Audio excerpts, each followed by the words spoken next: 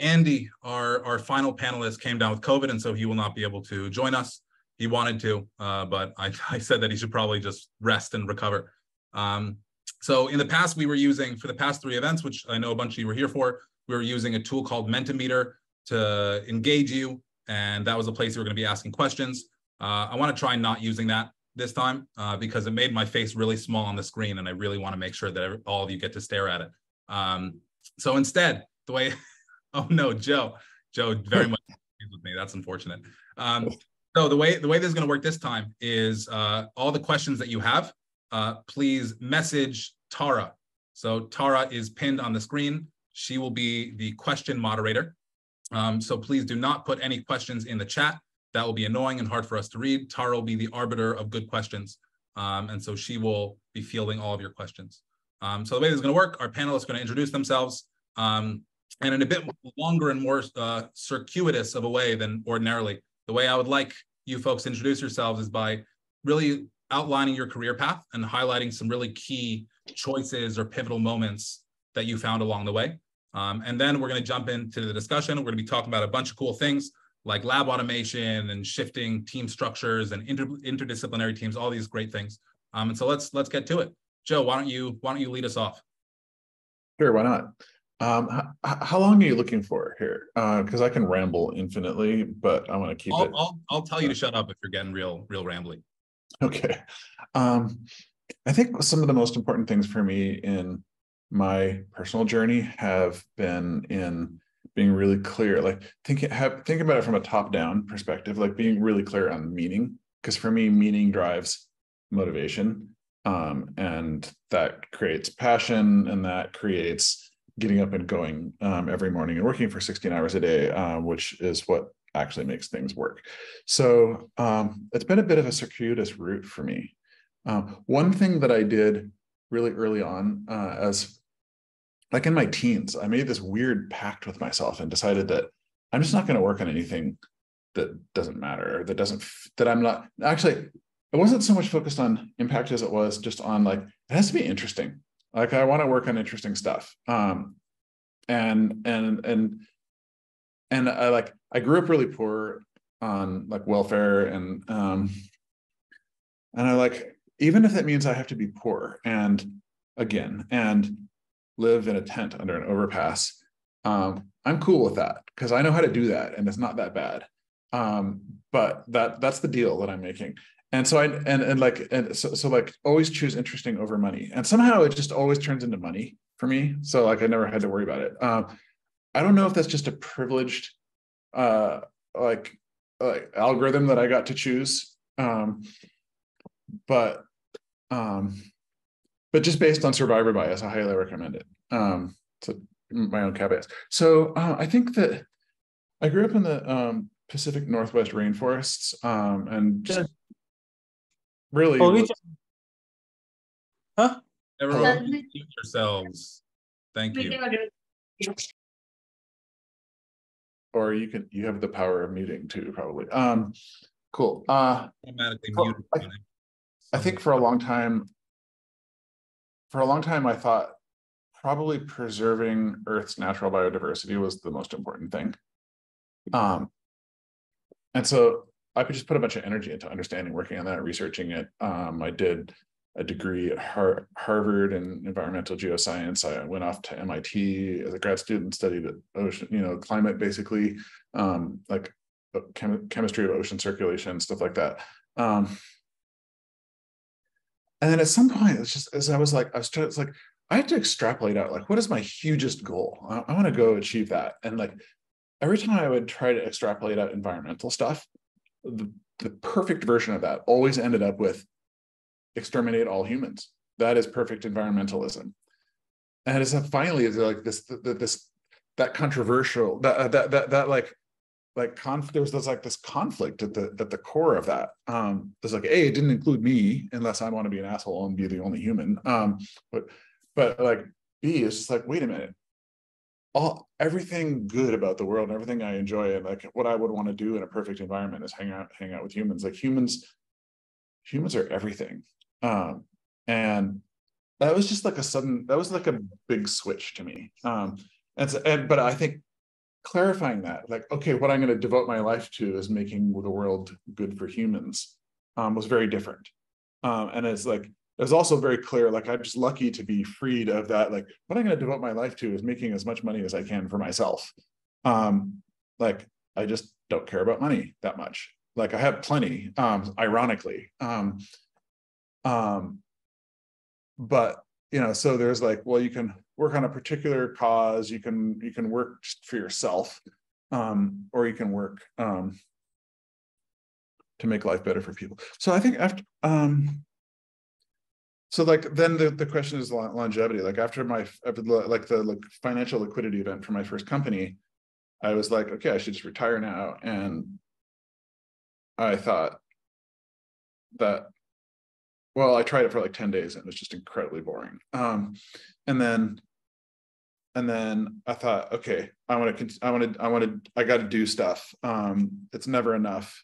I have like one really emotionally supportive parent and one like really kind of psycho parent, um, which ends up with uh, producing a personality that is like reasonably like secure enough to be like stable and do like decade long projects um, and not like like flip out and fall apart. Um, but like just having this like gnawing hole at the center of my soul, like nothing's ever enough, and I'm never going to please that psycho parent, uh, which creates like this kind of useful but um, unpleasant drive. Um, so anyway, I, I um, at that point I was like, okay, what what is the what is the most important thing for humans? And then I could I just survey like the the the like like you can do it negatively like what do they need? Like what are they missing? Um what, what, what what's bad about being human? Because intrinsically it just seems like if everything else is fine then it's awesome. We're happy. Um, we love to hang out and do stuff. Um so it was like war famine poverty um and like disease um and like war famine and poverty are all political things and i'm crap at politics and i love technology so like disease seems like the technology thing. Um, and so what is disease? And then just you just go look at like hospital budgets and health healthcare spend um, and like all of those, all everything about health boils down to like 85% age-related disease and a little bit of other stuff. So like, okay, everybody should be working on age-related disease. Um, what causes it? Um, the stuff that's really poorly studied, um, and mostly people are addressing age-related disease by thinking about it from what I call disease biology instead of through aging biology, um, which seems logical, I guess, if you want to make a therapeutic in a hurry, but short-sighted um, if you want to kind of follow this thesis that there are a smaller number of aging mechanisms than age-related diseases, um, then you should deal with the aging mechanisms. And then like lots of downstream diseases will be prevented and ameliorated. So um it's like that i came to that conclusion and then it just i've just been like 100% aging pretty much from then on out. Um i think a big shift for me was like how do i convert myself over from being mostly a tech nerd um to doing bio um and i did it gradually like the next startup i did after that was like a like a tech-enabled drug discovery services for pharma. This company called Vium, which made like the matrix for mice, basically. And um, so that was a way that I could apply sort of tech sensibilities, like building electronics and software um, in support of doing drug discovery, um, without having to be just pure, pure bio. Um, was that meant to be a bridge for you? Like, was there what? Was that? I mean, I, I think effectively it was a bridge for me. Um, like I had this initial bio, like when I first got to Harvard, and then I also took a detour over to Caltech. I did biophysics for a while, um, and I got some kind of bio there. And before, I also took a break between high school and college of six years just to teach myself stuff. Um, and I read a bunch of bio then too, because just interesting little machines. Um, but like the actual nitty gritty hardcore like it's a it's a it's different from like just reading nature um to actually executing in experimental biology. Um it's like reading about sports versus becoming a football player or something you know? It's like super different. Um uh, so i think that I, think it, I think it, I think it was really inefficient, um, but it was effective for me just to be exposed to the process of drug discovery for eight years um, through through customers mostly, but also implementing experiments on our side in in the vivarium, which is different from you know at the pipette. Um, but I, I ended up just like with my brain kind of permeated by bio. Also, another thing I did like fairly early on was start. That's a weird way to learn, but just started investing in bio too, um, and got some pretty got a, like at least one like pretty lucky early hit. Um, and then that also just kind of got me in there talking with people doing biology and thinking about it and like what works, what doesn't. Um, um, so um, you still haven't stopped me, which is weird. I, um, I, was, I, I, was, about actually about to because it definitely has been way too long and rambly, but also very raw and interesting and kind of beautiful. So I was like, let me just let this go, okay. and hopefully Luca and Sam do not go quite as long. But yeah, so so let's accelerate a bit, maybe closer to retro when you decided you wanted to start a more direct longevity company. Yeah. Um, at at after Vium, I was just like, I want to do the actual thing, not just the thing that supports the thing. Um, like what I call a type one play instead of a type two play. Um, and like, what better way than to just jump in and do it as a as CEO? So that's that's what I said. I think part, part of what happened is that when I like looked again, okay, what's the next thing to do? Last time there there didn't seem to be that much ready for translation, maybe senescent cells or something. Um, um, but man, this time there's just so much like aging biology came a really, really long way. And the bio tools also came a long way. Like single cell, I think is like probably one of the biggest things to happen to all of biology in a really, really long time.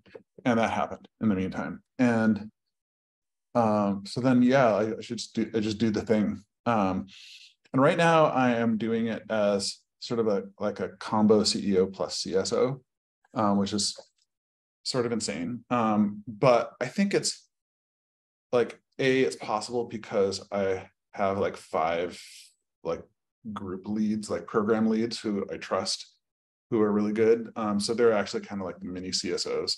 Um, but I stay super involved in the experiments. Like I pretty much read the like experimental data every week from every single program right now. But it's possible because we're only 45 people.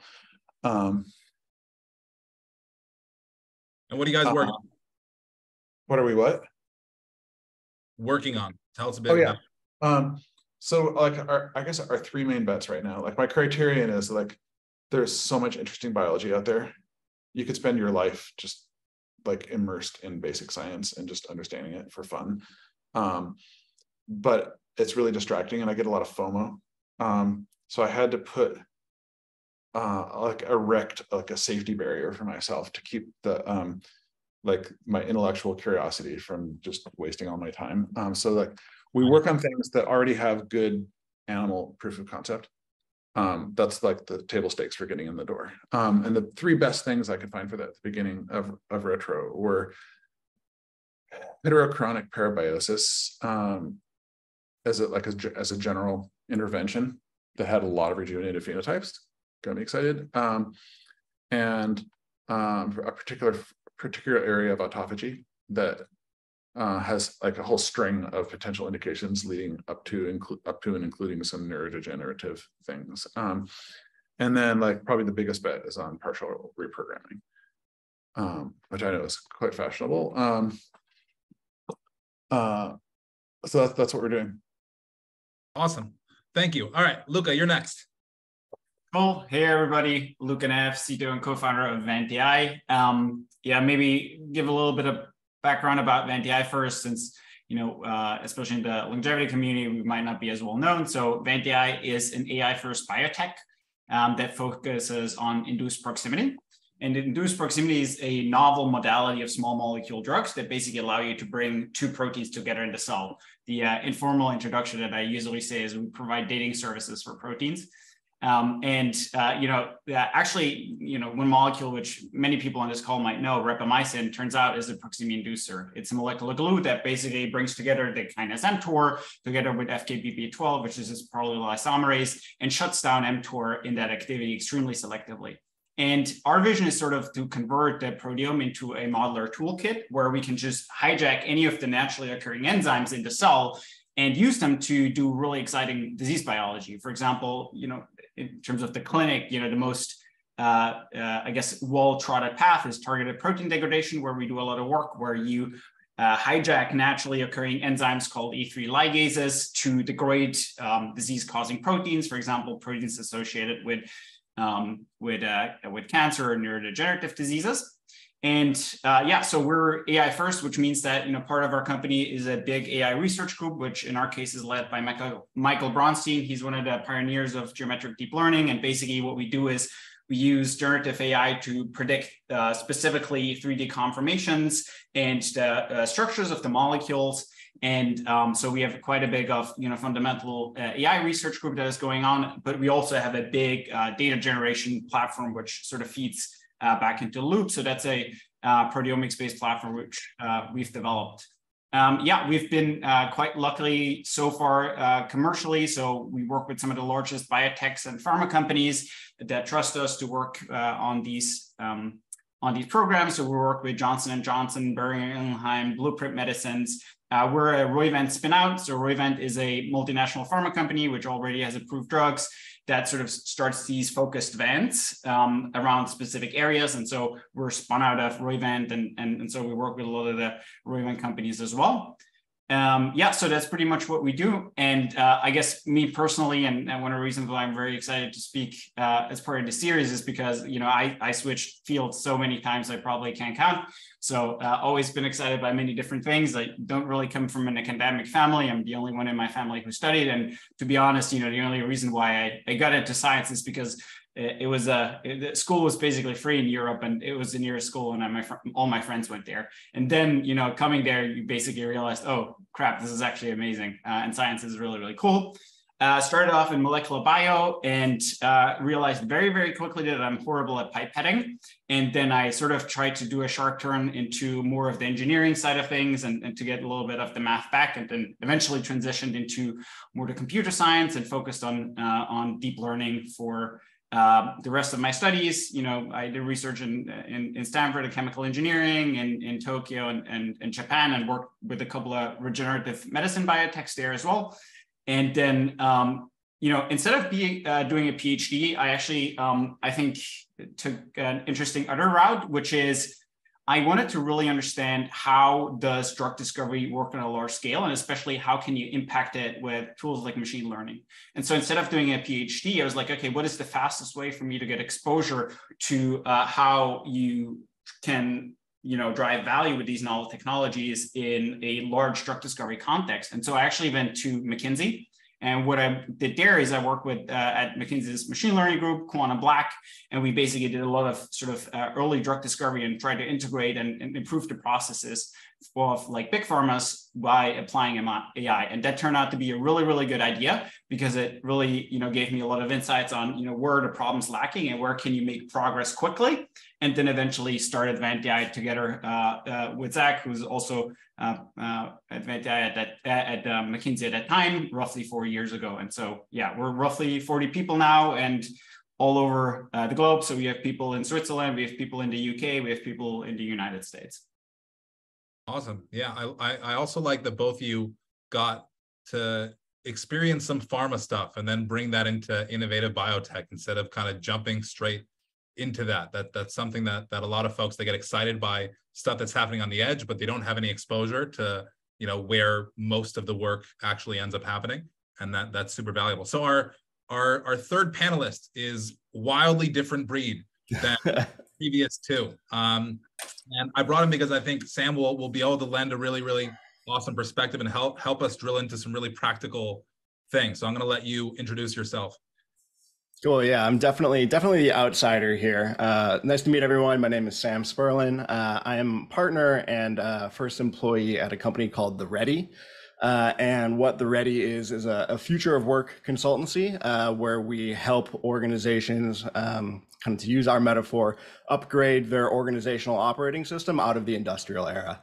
So basically, uh, many, I would say most of uh, our, some of our largest organizations are running on assumptions and principles and practices uh, that really came out of um, the industrial era and have just kind of been somewhat adapted to our current moment. And we, we try to help organizations go from this incredibly um, hierarchical top-down um, kind of uh, command and control way of working into more of a uh, network uh, complex adaptive system sort of approach to thinking about how do our organizations actually work and what does it require from leadership and from employees and from everyone involved in organizations to actually function in this more self-managing, um, potentially um, more ambiguous kind of way of, of working. So we work with um, ranging from, from startups to Fortune 100 organizations to um, really kind of get into the weeds and figure out more adaptive ways of working that actually allow organizations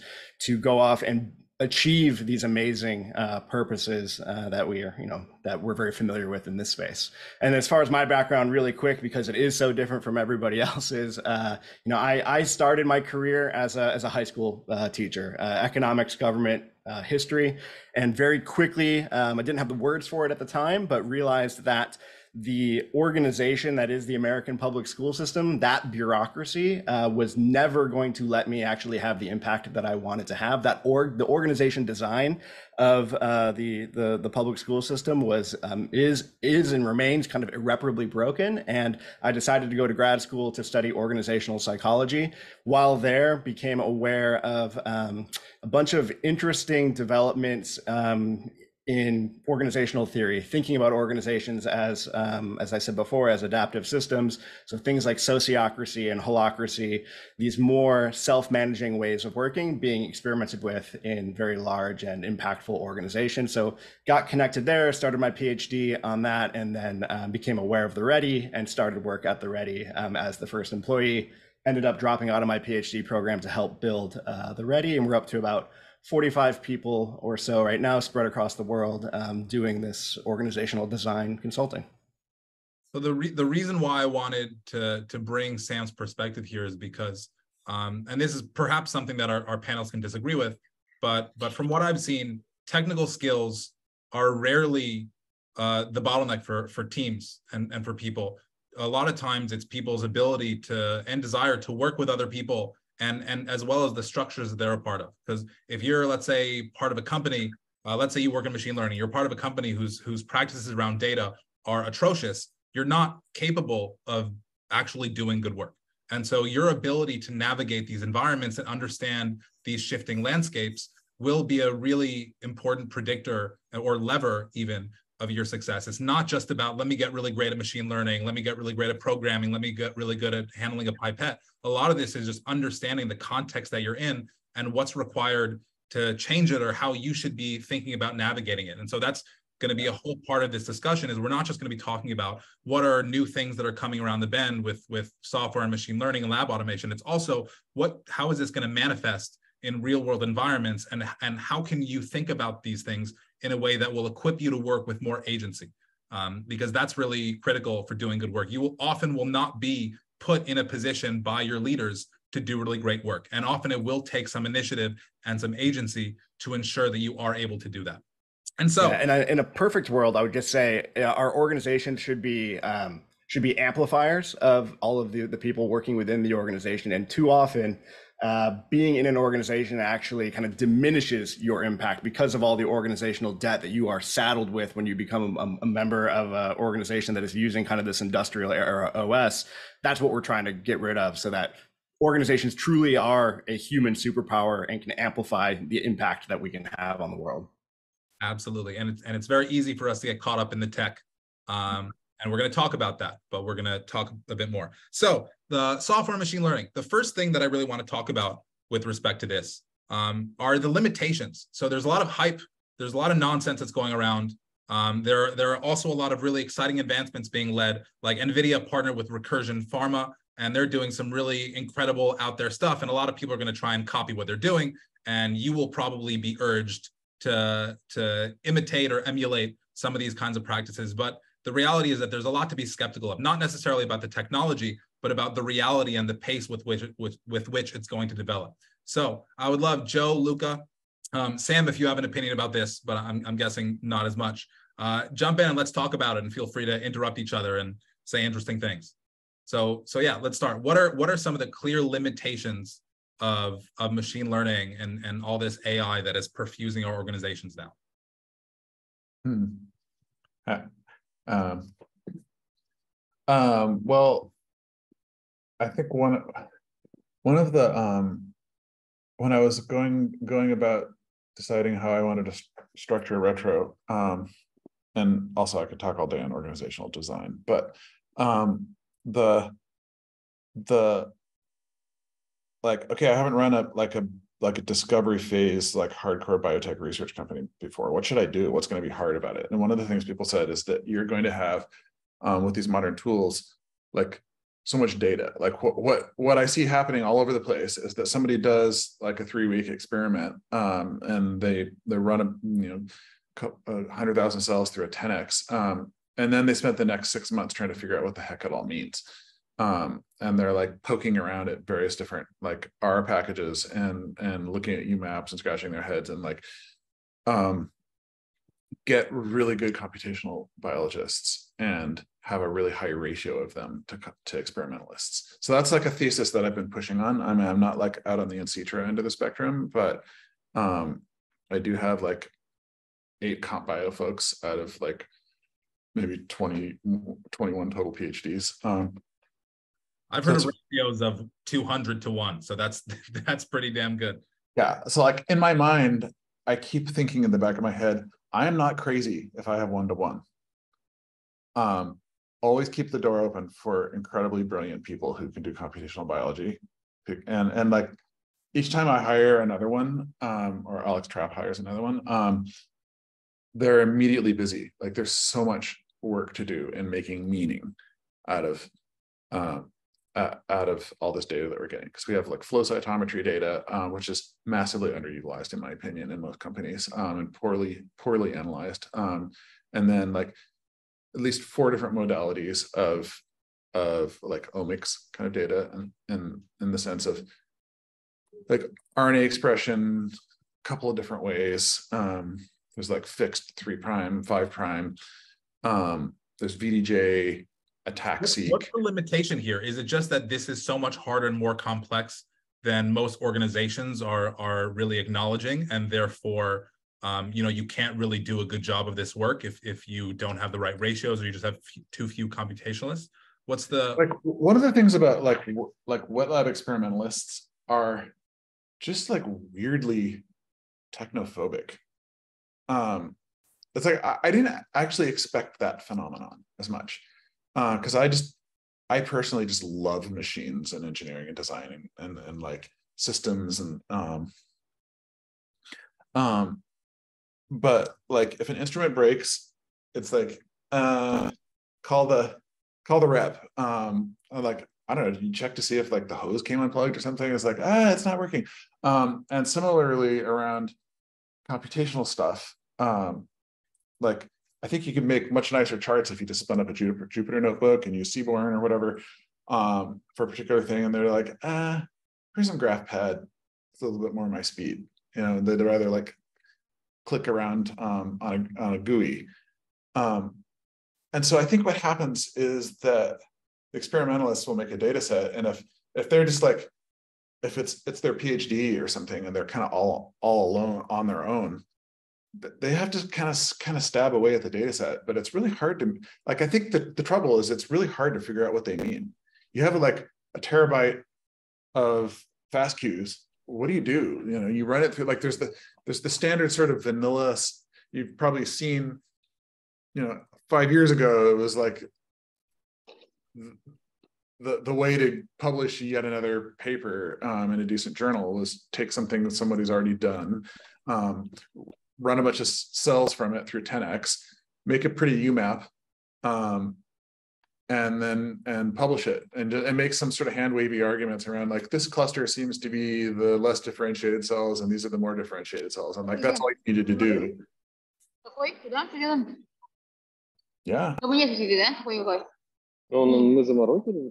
I can't understand that, Alexander. Um, but uh, but there's so much meaning. Like, so what, what I find the workflow actually ends up being like is that we have this huge data set. Um, somebody brilliant and experienced at ex, ex, extracting meaning from a big multidimensional, high dimensional data set, um, say Alex, um, takes a pass at it. Um, right now, I require this formalism where the experimentalists have to pose questions that they want to interrogate from the data set um, in order to create more structure um, and velocity.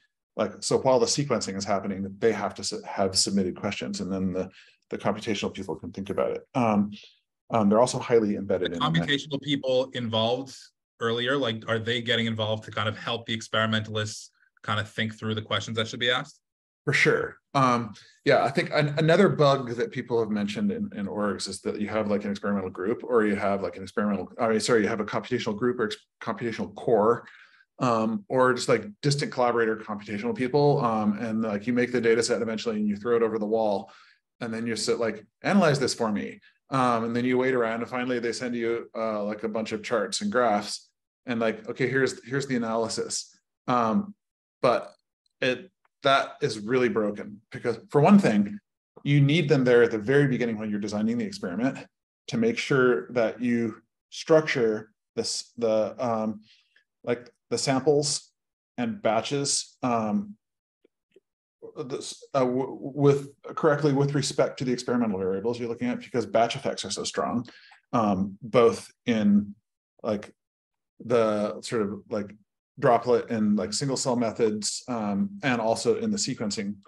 um, that if you don't distribute your experimental variables properly across the various things that will form batch effects, then you can end up confounded and you can't tell which is biological signal uh, and which is like technical artifact.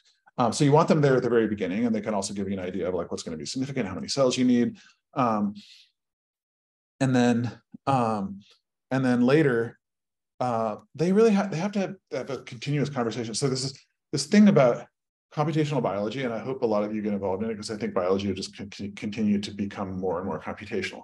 But you have to understand biology. Like you can't like, and it's a really deep, thick stack of knowledge. So like, so there's this one guy. So like, I'll just describe briefly and just cut me off anytime because I'm not attached to any any of these these directions. Um, only the, just present them in case they're useful. But this this one guy, Jared, um, just really wanted to get into computational biology, and um, he's he's an MD before, and he but he's just like really freaking smart and super motivated. Um, um, there's a machine learning engineer as well, which helped.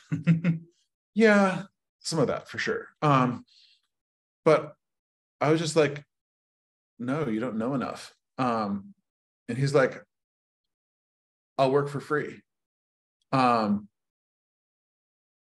um, so like, okay, I can't let you do that.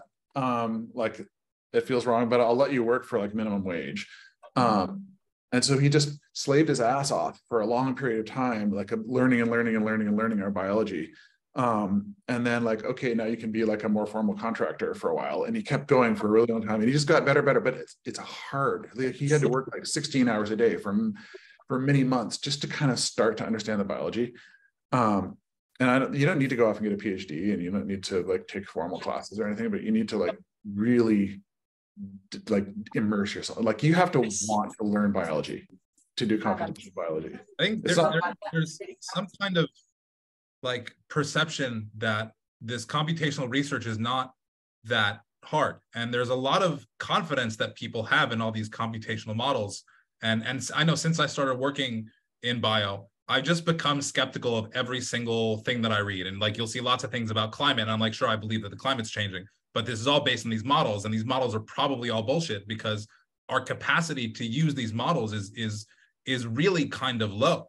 Um, and and and when it comes to bio, I mean, the way that we gather data is is really problematic across a whole bunch of different things. Like like Joe mentioned batch effects, which is a big problem. But one of them is that the way that we sample tissues um, can corrupt the the data that we get and there are so many things that can go wrong that that I really wonder when it comes to like I believe that computational biology and these computational technologies are essential and there's so much potential there but I also wonder if we're really capable of using these things in a in a useful way even if it's not going to be perfect or or 100% 100% correct. Are we really capable of using these tools right now?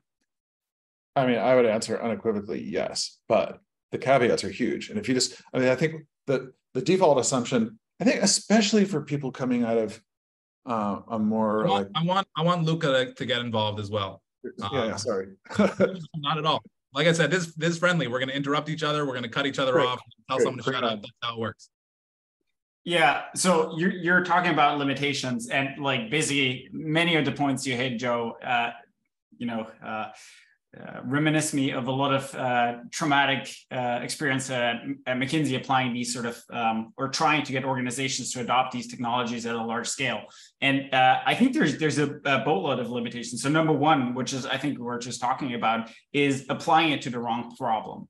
So um, that very often happens if you have people that, for example, don't know uh, biology or don't understand chemistry, try to apply them, right? They'll just uh, try to black box everything and just go in as like, oh, I have this fancy new hammer, you know, I'm just going to make everything a nail now. And I think that, is one of the key issues. And, and um, you know, a lot of even our researchers, they have very strong fundamentals in chemistry and biology because if you don't do that, you just end up tricking yourself. These models are in- incredibly complex and you can make them to tell you whatever you want. You can fit a UMAP to separate any two cell types you want. Um, and if you don't have like a good intuition behind what you're doing, it, it's a very, very bad idea. So uh, that's one of the key limitations. So number one is applying it where it doesn't work. And for me, like the mental model is if I can't come up with a benchmark that convinces me that if a method can solve this, it has truly understood the underlying dynamics, for example, chemistry or biology, then I'm not going to trust it. And I don't think you, for example, most of the academic benchmarks and most of the methodologies that you see, you know, put out in the field, they're not benchmarked in that way at all. And so uh, applying it to the wrong um, sort of subject, uh, and that often happens from people that, you know, don't take the time to study biology or the chemistry, I think is, is one of the key things that is going wrong.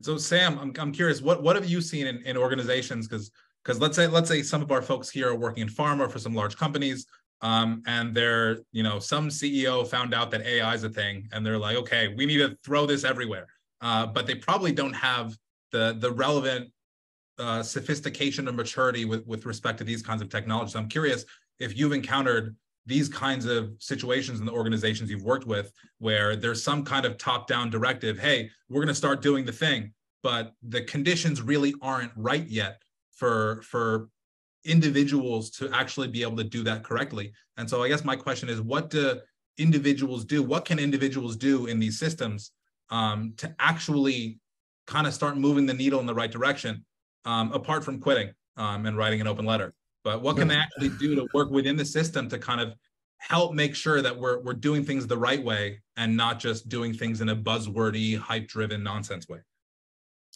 Yeah, I mean that's a that's a great question. Where my mind goes is um, everything we try to do with within organizations is taking this really experimental mindset, not in probably in the terms not experiments not in the way that you all are talking about them but experiments in terms of how we are doing our own ways of working. And what i'm thinking about in with with your in relates to your question there is how do you take a new technology, a new process, and actually experiment on something that truly matters to the organization. So not just gonna we're gonna take AI and kind of peanut butter spread it across everything so we can say we did it, we can check that off our OKRs and move on with our lives. But how do we actually create a small mission where the whole explicit purpose in a kind of safe to try way is to actually use this new technology on something that matters to the to the organization and, and actually doing it in a constrained way that tells us something um, interesting that we can then use to expand further. Because if you're just going to, as I said before, kind of spread it across everywhere all at once, I don't know how much uh, learning you're actually generating at that point. You're just doing a thing for the sake of of doing a thing, which makes up a large percentage of a lot of the action in large organizations. Yeah, like 80%. So from a leadership perspective, the idea is start it in a team, two teams, see what works, see what gets adoption. But as an individual who's working on these teams, it's very frustrating if you're if you're a computational biologist and you're trying to do your your job, but the the leaders of your company don't really understand because that's often what this problem is. The leaders just don't really understand these technologies well enough to drive the kind of change that's actually needed. So how can you as an individual maybe start to take some steps towards shifting the culture so that work good work can actually be done Just just just I mean, don't work for them. Just sw- switch to a different company where the culture is good. It takes a really long time to change the culture at a company. Meanwhile, you want to get shit done and, and advance your career. Screw them. Like let them figure out culture on their own over the next few years and join some really exciting company that's that, that's thought about culture from the very beginning. Sorry. Joe has just given the much more direct answer that I was probably going to give the consultant uh, answer two. My point was just going to be that it takes a long time to change organizations, and which is why when we work with organizations, if we're not if we're not coming in at the top, there's a ceiling that happens in any project that we are doing if the leaders don't have a buy-in moment. So I, I've I have maybe earlier in my career had a more idealistic answer about like, oh, you can like show them the way or whatever. But like, I don't know, I'm, I'm a little bit more in Joe's camp. So then how do you tell? How do you tell this organization is not going to let me do good work? What are some of the the signs that you look for that will tell you, okay, it's time for me to get the fuck out and find a different place? Instead of like, because some organizations they do some things wrong, but they're actually moving in the right direction, and then some it's just like, nah, it's not good. Interviewing is a bi is a bidirectional process so like you know they're they're checking out you uh, making sure that you know you're you're smart and motivated and educated and all that kind of stuff but like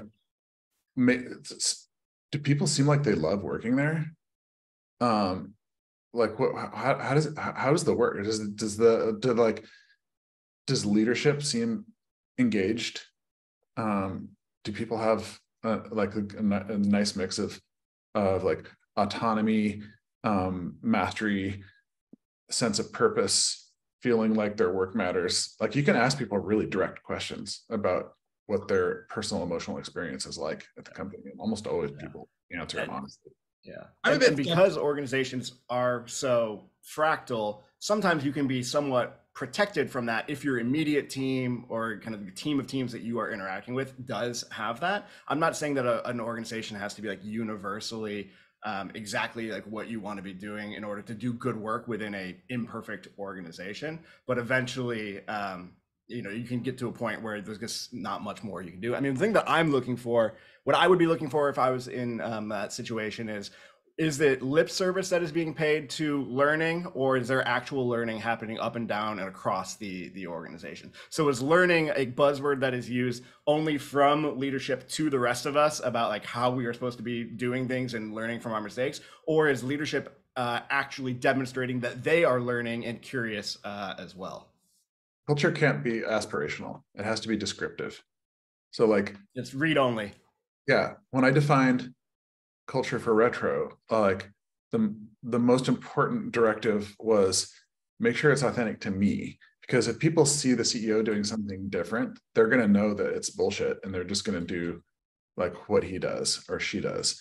And um so we have these culture tenets that are like for instance like more pirate than navy. Like okay that like that that's me um like they have to all fit. Like they have not, to all fit. I, am not trying to create like copies of myself. It's not like an ego thing, but it's just like authenticity. If I'm creating this structure and it fits me, then all my my my like program leads are going to be like, yeah, this is how we this is how we operate. And and so like you pick the like I don't pick my dysfunctional characteristics. I pick what I think are the most functional ones, um, and then want to amplify those onto the company. And but you know, so if if there's some portion of the company that's like trying to be different from like what the culture really is. Like if you say like we want teamwork and like you just look at the you know every single Fortune 100 company's website of their culture tenets and they're like patience first, teamwork, um, like support. You know, there's like all these like like you know that those are just like what they want, um, but not what they're really like. You know, like and then you just like go talk to the CEO and he's kind of like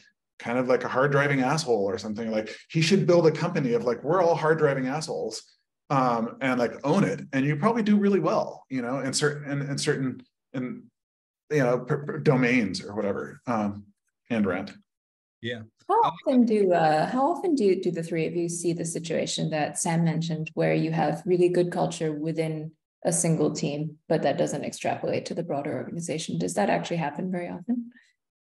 I actually think that, and you know, one of the first things that I would look at, especially if you're trying to go into ML and you're looking at applying that to biotech, is it's very, very hard to retrofit ML because you know, I mean, everybody knows garbage in, garbage out, but you know, time and time again, I think we've seen that it's it's you got to start co-designing the experimental work together with the ML and um, look at the teams. Like, what is the team composition? Do you have five biologists that are in that room, and then you have five computational biologists that are in a different room, or do you have an experimental platform where, for example, in the what device are we going to buy? Like, do you have computational biologists in that meeting, right? So, is the um, the application of machine learning is that co-designed from scratch or retrofitted. And i think retrofitting it is, is very very hard. It's so hard. In fact i gave up and, and you know jumped from mckinsey and started my own company because it's so hard.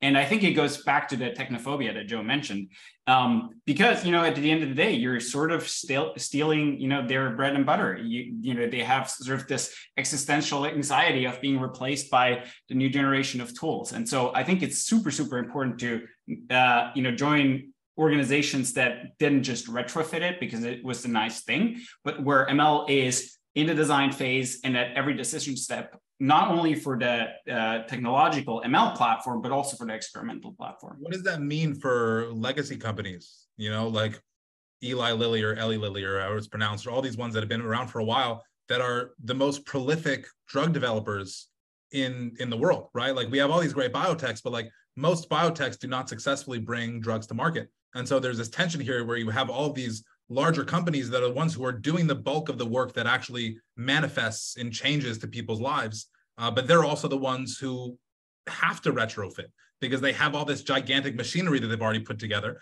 And so they have to retrofit. And so, you know, Luca and, and Joe, both of you have at least some experience either working with pharma. I guess both of you never worked directly in these pharma companies. But but and I've had other people say that that pharma experience is is really great. But if if, if these larger companies are are being forced to retrofit and they're not able to kind of just build their companies around computation, do they stand a chance? I mean, I'm sure they stand a chance because they're going to buy up other companies, whatever. But but insofar as being an actual place where you would want to work to hone your skills and and and and contribute, um, is that is there is that a place that's even worth looking at to work? We see this at each technological transition, like the, the fact that we have like Genentech is probably more a more recognized name than Merck now. Um, uh, is that you know there was like uh, cloning. You know, there's a whole new genetic set of genetic technology, and they were they were like on it, and the big pharma companies were like, uh, I think we can just still get fine. We'll get along fine doing um, you know screening lots of small molecules against diseases. Um, some of them will just just die off, and I think that you know now we'll have like the you know the the the retros and recursions and there, there there's like a new batch of and you know maybe insitro or something there's a new batch of of new giant pharma companies who will be created and a couple of the others will drop off because they just couldn't keep up.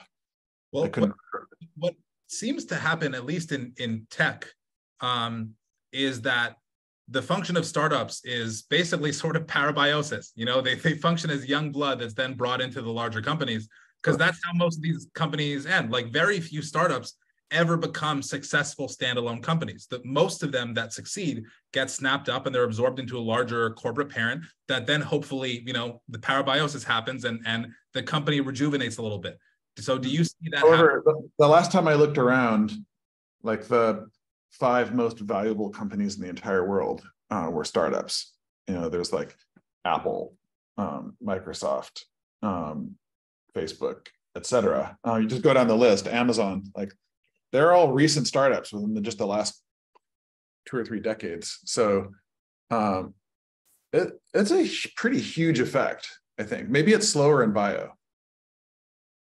but yeah. you know, like part of part of like what retro is at like some fundamental abstract level. Um, and uh, I don't know, may, maybe Sam would would jam on this, but we're kind of an experiment. And can we use a tech-like mentality to do bio?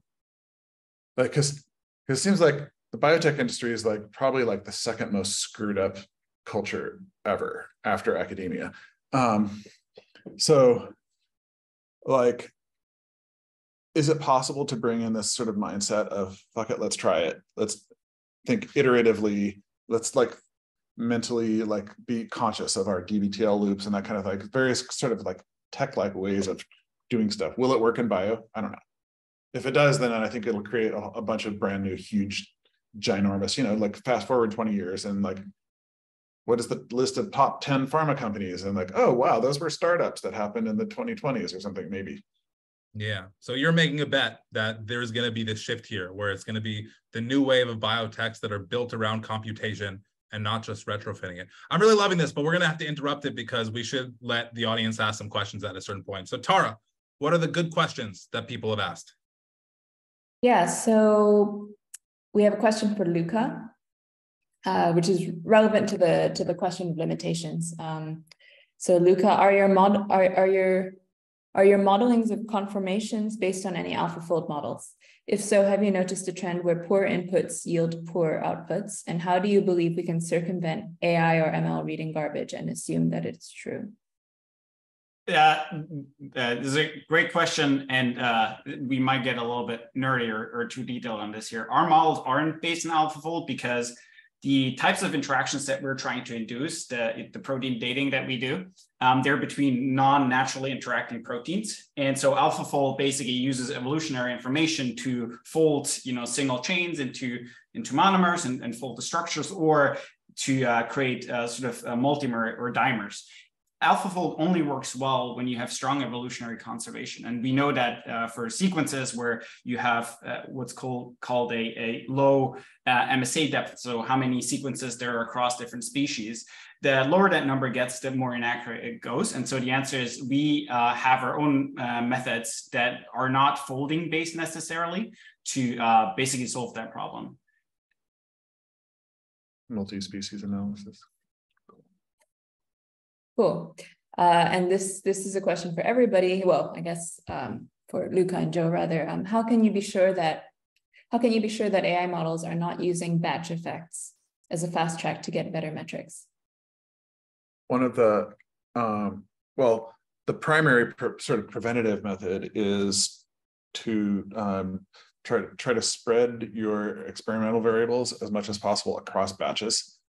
Um, and then we use ML techniques like variational autoencoders um, to average out or to sort of integrate out um, the batch effects and see how much of the biological signal is in there. Um, you can and you can also like spike in positive controls um, so that you can you know verify that you still see your signal even even after you've integrated out um, batch effects. And if you have if you haven't looked at variational autoencoders, it's such incredibly beautiful math. I highly encourage you to look at them.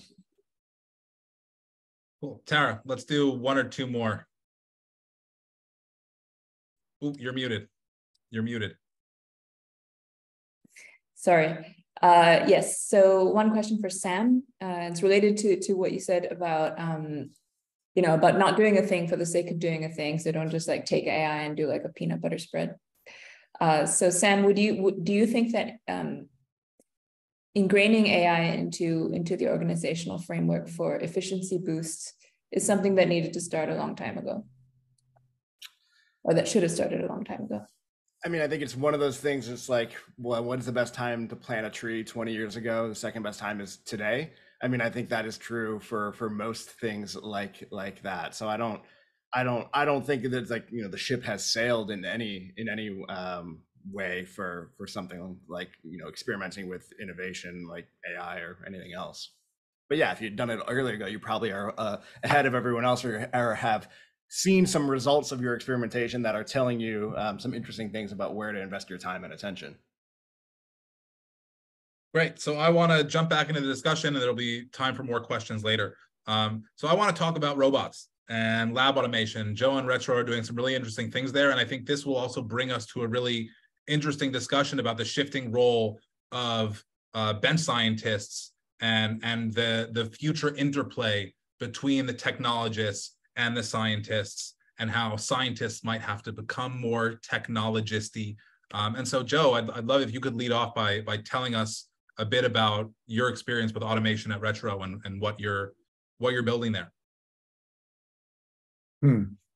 Um, yeah, well, I mean, my my my goal is success on mission, um, not headcount. Um, and so if we can build machines that do the work of 10 wet lab biologists um, without having to hire nine more, um, that's great. Um, also, people don't like pipetting that much, actually. Um, so, um, but the difficult part there is that, uh, and I had this problem back when I was helping some friends with a startup called Halcyon Molecular, like, God, um, 13 years ago. And um, I created some bio automation things and then none of the biologists used them. Um, and it was it was beautiful what I made to me. Um, it was this really nice like command line thing where you, or, you know, this like you could just write the script of exactly what you wanted your experiment to do. And, and they just looked at it and it's like, I don't want to learn that. Um, and I know how to pipette. Um, so what it requires, so there, there ends up being like, um, you have to develop these heuristics for what you're going to automate. Like a lot of biology is trying brand new things. Um, and you, you read a paper, you see if you can replicate it. Um, and it's, uh, uh and it, it's something entering your lab for the first time and you may try to replicate it and it just fails in which case you just like screw it and try a different paper if you're lucky um, um, and so you just can't automate that kind of stuff it takes longer to code it than to just go out and just, like and just do it by hand um, so you need some heuristics like you know we, we've already done this 10 times and we expect to do it 100 more times um, that stuff you can automate even still um, it's just like in computational biology. You don't want this wall um, and you, that you're throwing things over between two different teams.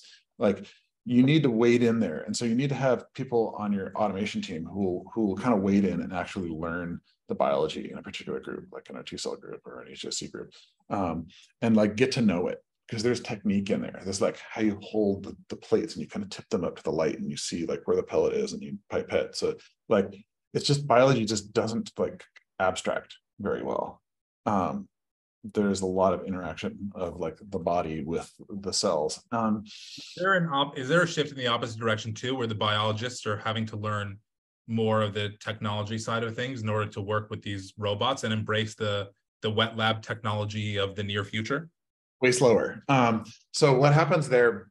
Uh, what I what I've seen so far is that if you go in um, from the automation side and actually get something working, they're like, huh, that's kind of cool.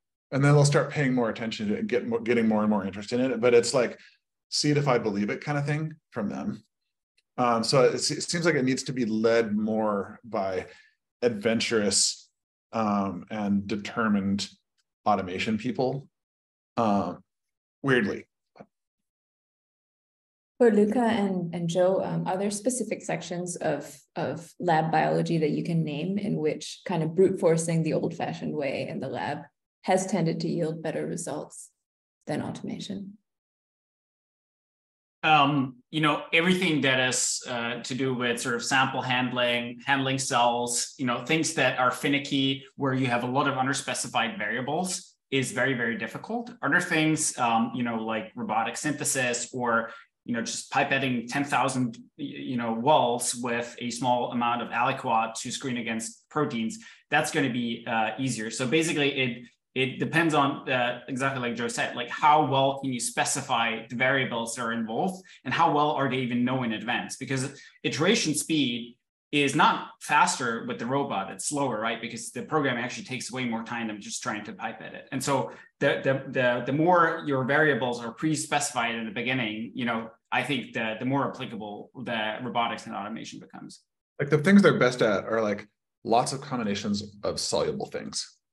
Um, they're just, they just kick ass at that. If you want to do like a 1500 different combinations of different small molecule ratios if you're like trying different media combinations amazing. And humans are terrible at it and they make mistakes and you don't even know which ones have the mistakes in them.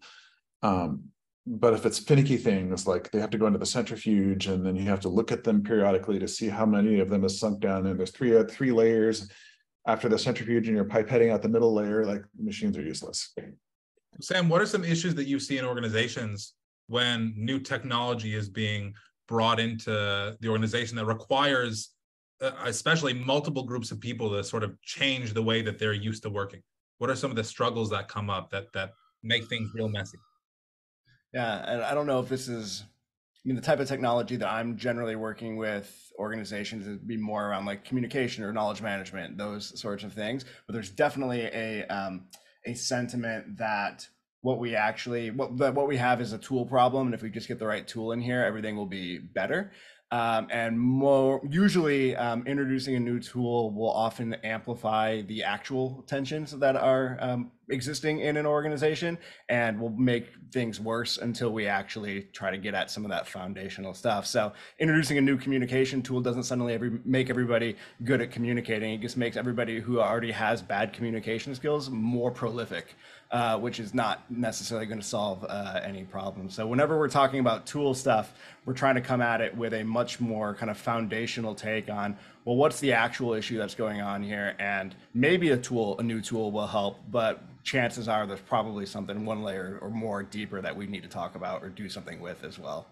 So that, actually, that that that makes me wonder, Joe, if if you've ever like, um, you you you decide, okay, we want this this robot to mix a bunch of transcription factors, whatever. And then uh, everything got fucked up because there was like some problem with the experimental design or some of the parameters were were kind of messed up. And so there wasn't, it, it amplified the, the, the problems instead of, you know, actually supporting the work that you're trying to do. Um, and so your question is what? Hmm. Um, in your experience, uh, trying to integrate this new technology into into the drug development process, um, have you seen it basically kind of amplify problems that were going on? Or has it mostly been just problems I don't know about amplify problems but like i think that when automation fails it tends to fail more spectacularly. Um you know rather than like humans tend to tend to fail in a kind of organic way like you're doing a 96 well plate with like two different gradients of concentrations or something and then like a5 is going to be screwed up because you just like you spaced it out and you did the wrong. But the rest of the plate's probably fine. But like in computation, it's like, I mean, in, in automation, it's like, well, all the entire IPSC plate is just completely gone. There's like nothing there. And it's like there was just some mistake early on that that got those can get massively amplified. But as long you know, as long as you have decent positive and negative controls um, designed into your experiments, then you can usually pick those up pretty easily. But could that theoretically ruin like be a very expensive and timely mistake. Like, is this something that we need to be thinking about? Mm, I mean, I mean, it, it, part of designing experiments, and I, I, I, um, I, I was thinking, I want, I want people to th- always be thinking in bets, um, like program leads as they're designing experiments, because um, you, you never know the reason you're doing experiments is you don't know if it's going to work or not. You don't know what the answer is. Um, and then you're betting a certain amount of like human hours and reagent dollars um, and calendar time against this bet. And it's like this or this and which um, and like so it's like constant constant betting. And um, i want them to some degree like taking taking into account dollars for that. Um, and then where we ended up but i didn't want to slow them down because i have this kind of like anti-bureaucracy philosophy. Um, here. Um, basically, I am the only bureaucracy, and I I I I, I commit to delaying nothing by more than 24 hours. Um, is that they end up landing at 50k. Like if an experiment's over 50k, I want you to qu quantify roughly what the costs are, so that you know what bet you're making. Um, other than that, just run with it. Um, so like most of the time, you know, like if there's like a huge amount of sequencing or or and and or 10x reagents in a given experiment, then it can be pretty a pretty spectacular failure, um, and then like actually hurt. Um, but but other than that, usually usually it's not that expensive. it's it gets expensive if there's like precious human or animal cells from you know that took a the, the they're not they're not very many human donors um or the like the, there's like a very specific number of animals and then you you know did a prep from the the particular organ and you have these cells and like these cells are not precious and it took like 60 days to get here. Um, you don't want to screw that up. But other than that you can just like i think you can do a lot of automation just on like pretty available cells pretty available reagents and just like oh screwed it up run it again. And what you lost was four calendar days not like 400k so then i'm, I'm uh, sorry go ahead. No you go ahead tara tara. Yeah i'm, I'm curious what you guys think of um, to, to what degree can this kind of take bets philosophy be applied to companies that are not so well funded let's say. I mean you know retro obviously I mean, the bets the... the bets matter even more. I mean you're still betting. Um if you know if you have like a, a two million dollar funding and the you know your experiments are like 20 20k um, you only get you only get 100 chips when you walk up to the table. Like how are you going to spend them and there's different uh, layers where you can place the bet right betting on biology is always the riskiest because it takes a lot of time to validate it and it takes a lot of validated. Betting on chemistry is a lot cheaper. If you have a target and maybe that target is even available at a Wuxi or a Eurofins and you can just send your compounds and test it, that's a cheap bet. And maybe that's interesting biology. So especially if, you know, if, if you're well, well, um, well less funded, then, you know, take less ambitious bets and, and try to go where, you know, there's less risk. And you can do, you know, you can order, you know, compounds from Enamine for a hundred bucks per compound. And maybe you have a brilliant idea, you know, what that compound is useful for. And it's a target uh, that you can uh, you know order from a CRO, that's a one person show that costs like a thousand bucks for an experiment, right? So uh, you know, it really you just gotta be very um, uh, very you know intentional where you place the bet. Calendar time is also one of your bets um, because there's rent and food um, and health insurance and all that kind of stuff. So just just the time that you are operating also eats away at at your at your runway. Right now, my runway is seven and a half years, but um, it's it's going to get shorter as we continue to scale. So, so the next thing I'm interested in getting into is is what are what are because because as technology develops, it now it enables us to to have larger teams uh, with more specialization and and these teams can be more interdisciplinary, and that really changes the way that people work with each other, um, and that changes everyone's job basically. So I know Luca, you you're you've been with with Vant. You guys have a very interdisciplinary team, um, and so I, would love to to you know for everyone to hear a bit about how your teams are are structured because they're they are a bit more of the progressive computational first biotech teams. Yep, I think it really depends on sort of you know what is what's the level of tools and abstractions that you can leverage. So I think, you know, in the last couple of years, we've seen fantastic, fantastic tools come up to work with things. For example, in, you know, 2013, it was a big thing if you could train like a machine learning model to understand how your molecule interacts with a protein. There was companies that raised, you know, tens of millions by doing that because it required a PhD to do it. But now that's like three lines of code in PyTorch, right? And so if you're able to leverage these tools and work with these abstractions that other people have built, um, you, the economics shift, the skills profiles shift, um, the speed at which you can iterate shift. For example, um, with us, but we also see that with the pharma uh, partners that we work with, most teams have now sort of applied ML engineers as part of the project that are responsible for fitting models, simple things, very powerful, uh, leveraging abstractions, like very powerful tools on like specific projects that we work on, right?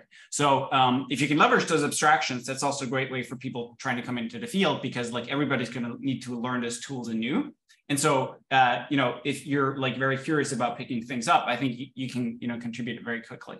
I think it's very different if you are on the more fundamental side where you develop new tools and abstractions there you i think you need to be a lot more specialized right you're not gonna like the types of like geometric deep learning models that we develop unless you have like a phd in cs or math you're not it's like very esoteric abstract math and so you're not going to be able to contribute towards these like tools that we're building um, so I, I think there's both a specialization in some parts uh, you know, when you work on these abstractions, but also the opposite happening where we have a lot more hybrid profiles that know the biology and know the chemistry that um, don't design stupid experiments or apply ML to like, um, you know, uh, to, to spaces where it doesn't make sense. We have a question from the from the audience that's relevant here. Um, are there are there any unique uh, ML issues or software issues um, that are specific to aging startups? Yes. Um, there's the there's there there's this whole world of clocks in in aging um, which are based on the hypothesis that there's some universal things about aging that are that are different from just something specific to a particular cell function or a particular disease um, and so then um, there there's the pretty rich a like thick soup of literature um, and just a lot of work to be done. Um, a, lot of, a lot of it very cell type specific on trying to build clocks. And uh, if you don't know what a clock is, it's basically an ML um, thing that you train, usually initially based on chronological age, um, uh, and then you use it as a predictor of biological age. later. So if you do a transfer transformation on some cellular system and um, you're getting a lower predicted age um, than when you started, then you're probably rejuvenating those cells in some way, depending on how much you can believe your clock. Um, so the realm of clocks is a huge amount of work that we do here. And um, you can build them on any kind of data that changes over, over you know, chronological time, for instance, um, you know, physical characteristics, gene expression, chromatin accessibility, um, methylation state, um, you know, on and on and on. And then the question is, how good a clock can you build out of them? And what modalities work for those clocks? And what kinds of variants are there in the underlying, um, you know, mo molecular things that end up with as data um, and what kind of clocks work for that. Um, and it's kind of surprising some of the things that do and don't work. I don't know if that answered your question, but that's the first one that comes to mind for me. Cool. Um, so yeah, uh, one thing I'm curious about is uh, in this shifting, more tech-enabled, computational-driven uh, biotech teams. Um, I think the the concept of technical debt kind of shifts a bit. Wherein in bio, you're like a lot of folks are used to building really quick and dirty and shitty programs because you're only going to use them once, twice, whatever. And so if these systems kept running, then that would be problematic. Uh, but now that that software tools are a lot better, we're better equipped to like build internal computational platforms. And so I'm wondering what you're seeing the the shift here as. And Joe is nodding very agreeably. Uh, I, I, don't want to just hog all the talking, blah blah blah blah. blah. So people have to. It. Luca will jump in if he wants to. Sam will. I'll tell you to shut up. It'll it'll work okay. out. Um, all of academic academic computational biology is kind of like technical debt in and of itself already. Um, the software is usually shitty. It usually got them like just to their like cell biotech paper or whatever, and that and then that's it, and and barely. Um, so then trying to use it in industrial context where you want data provenance, repeatability, um, uh, uh, like a, a, a, kind of a little more explicitly understanding like what does this really mean? Um, uh, there's some mystery code that generated some mystery numbers, but do we believe it? Um, all that inc- involves a ton of hardening. Um, so well, I think we we really had two phases. One where we were just like applying a bunch of stuff, you know, a bunch of stuff out of Lior's lab, Caltech, or whatever, just like um, a bunch of cool tools, like trying this and, and seeing a lot of interesting signals. And at a certain point, we pulled back and did a classic tech company tech debt payback phase. And we created this internal package called SC Tools um, that's really good now. Um, it might be, it's probably one of the top three best um, like, like computational biology suites. Now we kind of started with Alex Wolf's um, stuff um, and, and, um, and but largely mostly started over um, and so we built like this and you know it's like in, an internal oasis, a paradise here of like all the all the data ends up in these like perfectly structured AnnDatas um, and datas. Um, uh, all all of the code will execute uniformly on any of the pretty much any of the data types. We're standardized about how we talk about metadata. Um, uh, and how did you go about standardizing this? Because this is a not insignificant project. So like how long did this take and what was the kind of process? Um, this is probably also something that Sam can probably like probably like six months. Um, part of it was hiring some people, some like computational biologists who are just like superb software engineers.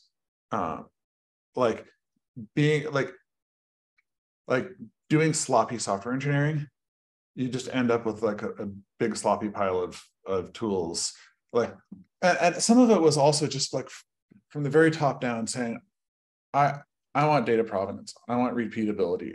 I want transparency of the i want to be able to look at any given like output and be able to click back all the way through i want to be able to read the jupyter notebooks so like some of it is just saying like I want standard. I'm setting standards now, and I'm trying not to be bureaucratic and have them be like bullshit standards that just slow people down. Um, they, they, they, should really matter. But some of it wasn't that hard. Now, just every time we have like a set of Google Slides with a bunch of data, um, there's a link on the slide of saying, here's my Jupyter notebook. And you can just click to it. And it just it, it takes you to the GitHub.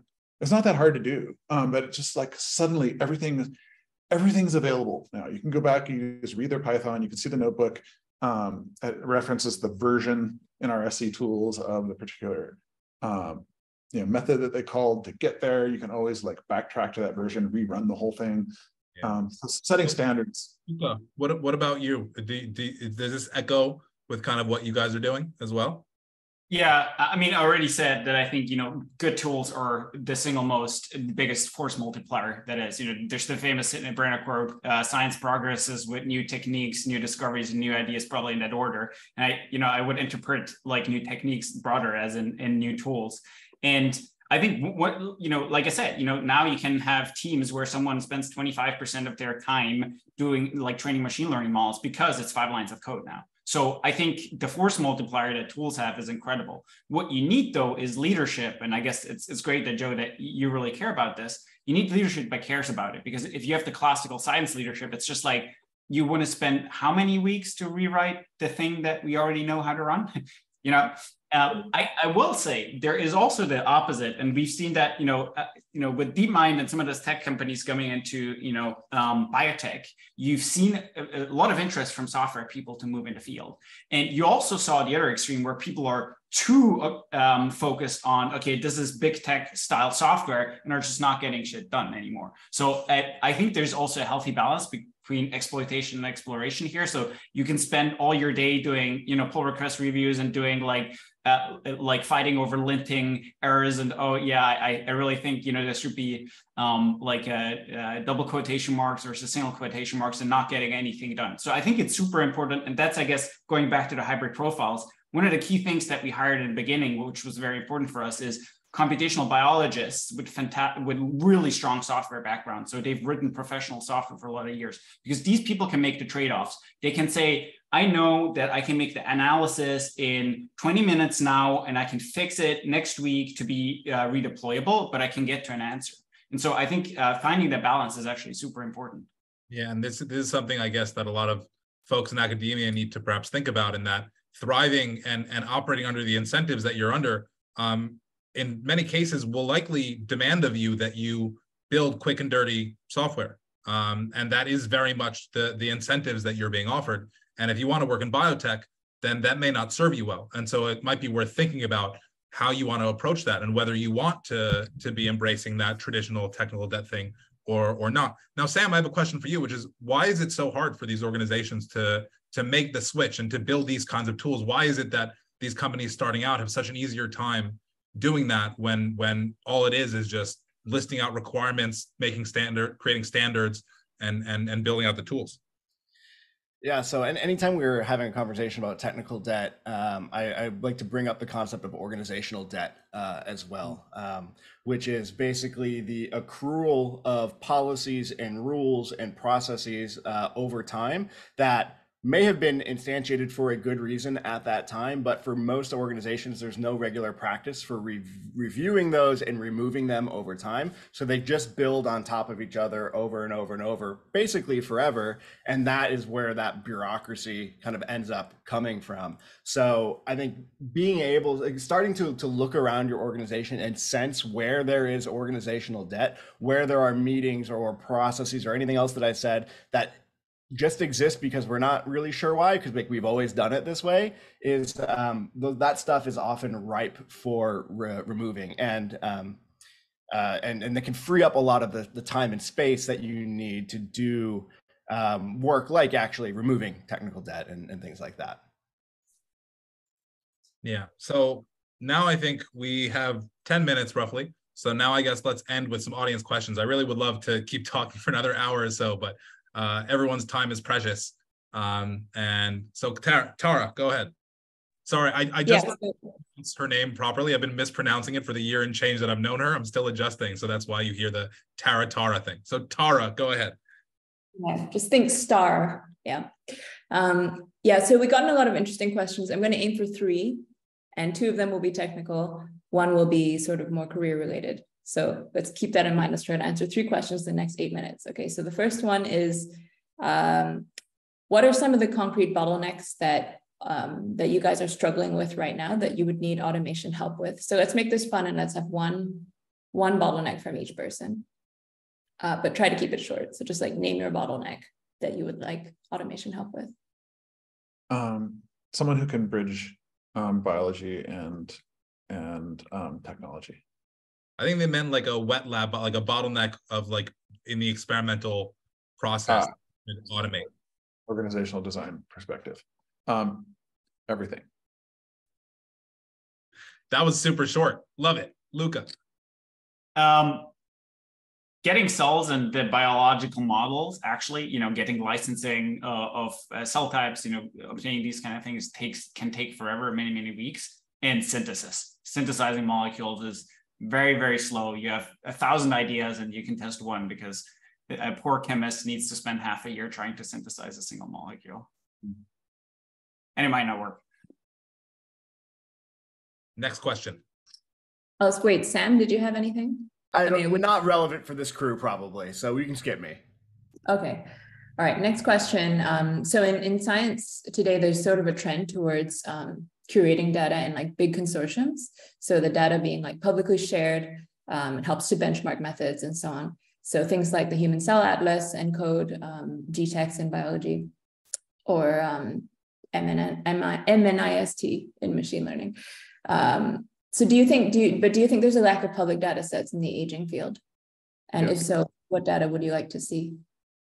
Uh, I mean, like one of the best things that we've had in aging for a while is is TMS, like the Tabula Muris Senis project, uh, which is just really tiny. Uh, and and to some of the um, points uh, somebody was making before, either Amos or Luca, um, the like what got you to the data in the first place is also you have to deeply understand that because you can just look at the data and say, oh, this is real data because it's on the screen now and it's a it's a UMAP. But like everything before then could totally screw it up such that the data is meaningless anyway. And like one of the things about TMS is that they did it that they did basically in, case you're not familiar with it, they took old animals and old animals and young animals, um, and they just removed a bunch of their organs and, and extracted cells from the tissues and ran single cell RNA-seq and other omics on them. Um, and uh, like some of the preps were just like kind of sus, like you know, like you're separating out like hepatocytes from other liver cells, and you'd have like five hepatocytes, or just like like they just didn't work. So like just, it's just a tiny amount of data. Um, so I think specifically for aging, we need a lot. We need a lot more data, and like we have probably the best data set in biology. Or one of the one of them, at least in like high dimensional computational biology right now, is the census from CZI, um, Chan Zuckerberg initiative.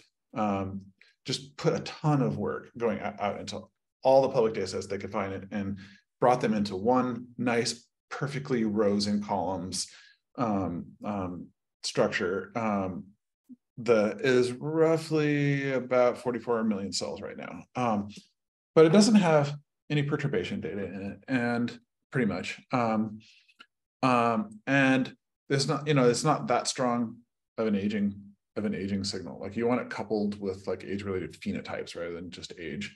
Um, but you can train some clocks off of it. It's pretty good, but just we need more So more perturbation data. perturbation in, in particular. Yeah. Luca, what, what about you? What do you want to see? Yeah, so there there's a sort of two two steps to finding a drug. Number one is defining your target, and number two is sort of picking your arrow. Uh, we work, I guess Joe works a, a lot more also on sort of defining a target, understanding aging biology. We work a lot on sort of defining the arrow and being able to design these arrows a lot more high throughput. And there, the rate limiting step is always, can you model physics to understand things? Because once you can, you have models that generalize really well. And arguably one of the biggest AI breakthroughs that happened in biotech, AlphaFold, basically, you know, piggybacked on a fantastic resource, the PDB, having an extremely diverse set of uh, proteins, very nicely curated and ready for machine learning. And right now, we, you know, if you look at the equivalent data sets for designing, for example, novel small molecule intervention or induced proximity intervention, that data is extremely sparse and extremely um, biased because the way that it is collected is unlike many of the protein structures, which you know came out of fundamental biology. A lot of small molecule protein structures they were based on uh, design um, projects from within big pharma finding these therapeutics, and so you have an extremely strong bias where you have extremely good information on the existing therapeutics, but where you actually want to go, which is novel biology, you have basically no data. And these, uh, you know, creating these sort of structures, you know, it's it's a you know a million bucks a pop with classical uh, crystallography. So I think we're going to see uh, some exciting stuff there with cryo-EM, and we work a lot with structural proteomics to basically be able to scale that up, uh, you know, two to three orders of magnitude cheaper. Um, but yeah, good high quality structured data for for interventions. Lovely. All right, we probably have time for one more question. Let's make it a good yes. one. So well, this this question I got uh, many variations of, so I think I'm going to ask it. Uh, basically, um, actually, I'm going to read somebody's question who worded it well. Uh, Joe said that his requirement for paying someone more than minimum wage is that they already have a deep understanding of biology, and this will take months of 16 hour days to develop. Hmm. that makes it sound like a data scientist without bio biology experience is out of luck, unless they have the financial resources to work for free or go back to school. Is that true? Um, I mean, it depends on how much television you watch. Uh, like, there's a lot of there's a lot of time in a day. And if you're like deeply passionate about something for me it's basically zero. Uh, there's there's a if you're deeply passionate about something you can work a day job and spend eight more hours learning about biology. Um, like if you want it you can do it. And how much how much of that how much knowledge should they have before you would consider hiring such a how do you quantify knowledge? Um seven yeah i don't know i don't i don't uh, uh you you know it when you feel it, I guess. Um, but like, feel comfortable. Like, I, I, th- I think you, you can quantify in certain ways. Like one, like how, how how close to the state of the art are you getting in the papers that you can read? Can you read a paper that came out, uh, you know, today and and say, oh, you understand why this is different from like something that was discussed in a paper from two years ago? Um, then you're getting there. So yeah, I I want to I want to ask a, a very specific question which is what do you feel, Luca, Joe, what do you feel are the best ways to learn biology really quickly? Because um, some people are pro textbook, some people are pro papers, some people are pro start up a project and just learn that way. What what are your what are your respective opinions on that? Luca, why don't you go first? I, I think you're going to need to read a textbook and there's no way around it. And these are large textbooks and it's going to take, you know, a lot of work to get through, but I completely agree with Joe that, you know, you need to just you know you need to come with the terms that you know i'm going to spend a year just trying to understand the science here and there's uh, in bio there's a lot of um, fantastic textbooks you know um, peterson uh, uh, then um, albert's molecular biology uh, janeway's i mean all, there's fantastic books and i've actually reread read them since my undergrad multiple times because they're so good. So textbooks are fantastic like don't discount that. And then obviously you're going to need to pick up the tacit knowledge but yeah textbooks are great. I spend a lot of time talking with ChatGPT about biology these days. Weirdly, um, I mean, it just sounds like so wrong, um, but like it's creepily correct about many things. Um, and but but I agree, you need this you need this kind of foundation. And some people do have different learning styles. So some people are more top down, and some people are more bottom up. Like some people want like can motivate everything from a particular project. Someone says, "I want you to help me understand what this data set means and read this paper." Um, and and um, once you understand it we'll be ready to have a conversation um, you read the paper and it's like all greek to you um, then then you have work to do and just keep going um, and work your way that's sort of a bottom up approach like okay um, it's largely how i've learned most most most of what i know um, I just I don't understand this stuff. So then I have to go learn some other thing. And like I just I don't understand that either. And you just keep branching out into this infinite fractal that eventually comes back and then you're ready. So um, you you would say don't even try to be too strategic about what you're learning. Just start learning some biology stuff, and it's going to go down all these crazy paths, and then you'll you'll you'll. Learn. my life path, like I'm interested in this. I'm going to do stuff I'm interested in, only stuff I'm interested in, and just just decide what you're interested in. I'm I'm into aging, and I want to do like computational biology of aging. Just go find like maybe some company that's doing computational biology of aging is like just ask them like what are the top three papers that that like bear on the kinds of things that you guys are thinking about at the company. They'll usually just tell you because it's not even that confidential because it's public information. Just see what it takes for you to understand them. It might take you six months of like shit i don't understand anything they're saying in here. And then you can, you can also like if you're if you're that kind of a learner you can start testing your knowledge. Like this it sounds crazy but you can just start like texting people uh, or like sending emails to some of the authors on the paper. Say, I was wondering what you meant by this, or did you try this other thing? They'll talk to you. Like these these academics, like they're in incredibly specialized areas, and there's like five people who actually understand what they're doing. When there's a new person that pops up that's curious about that thing, they love talking about it. That's the foundation of, of, of biology, right? Is questions. So I know people who've gotten job offers just from emailing a professor or, or some PI and, and after reading the paper. Not all of them will respond, but a lot of them will. And another, this is like we have to go. But one one additional thing, people do not do this. I tell people to do this, and and a lot of leaders have told me this is good. But map map out some kind of learning journey for yourself and some kind of path from how you're going to get from where you are now to where you want to be and then reach out to people for feedback reach out to people who have the jobs you want or people who are a couple levels higher reach out to a bunch of people for feedback. You're giving them something tangible that they can respond to. It doesn't require them to schedule a meeting with you or talk to you so people who are time poor can like respond to it while they're on the toilet or between meetings or whatever. And so like uh, yeah. I, I also agree with, with luca on sometimes like immunology i just wanted i wanted to learn it and i wanted to learn it fast and it's really thick interweb web of stuff. So I, I picked up Abbas and Lichtman, which is the, the, the graduate text they use at UCSF. Um, and I just read that cover to cover, and it was like an, an, an, adventure novel. It's like it was an it's an incredible data set, and that was so fun that I, I ended up reading it again many years later because just just it's like some of the things like we don't know. There's like twenty to fifty things I bookmarked in the first edition where they just ended it was like and nobody knows, and a bunch of those were then so that works too, and you can do both basically. Yeah, and I, you know, whenever you start a topic, you're just like, oh, I'm never going to use this, and I've literally never had a situation where I read a textbook and, uh, you know, not within the next three months, I found like a situation where it's. That was like the, for me, like taking early on Andrew Ng's machine learning course on Coursera. It's like, ah, this is probably getting, you know, this is back in like I don't know, 2000, 2012 or something. This is getting to be kind of interesting field or whatever. Um, I should probably learn a little bit about it. And then like every single thing I learned in that course. I just constantly apply. Um, so like some of those things work really, really well. Yeah. All right. Thank you everyone for coming. Um, everyone's got to go now. Thanks a lot for, for those who are interested in organizational design and these kinds of things. Check out uh, Sam's firm, theready.com. They've got all kinds of cool resources and some videos and stuff. Uh, they're really one of the very, very few firms that think about things in an actual right way and they actually get it. So check out theready.com. They're awesome. Thanks a lot, Joe and Luca and Tara. Um, Joe, obviously, Retro. Luca is with Vant AI. Check them out. Thanks you all for coming. Uh, I enjoyed this a lot, and I'm sure. Thanks, our, oh, farewell. Really, really nicely structured. Thank you. Thanks all for the questions. Ciao. Thanks, everybody.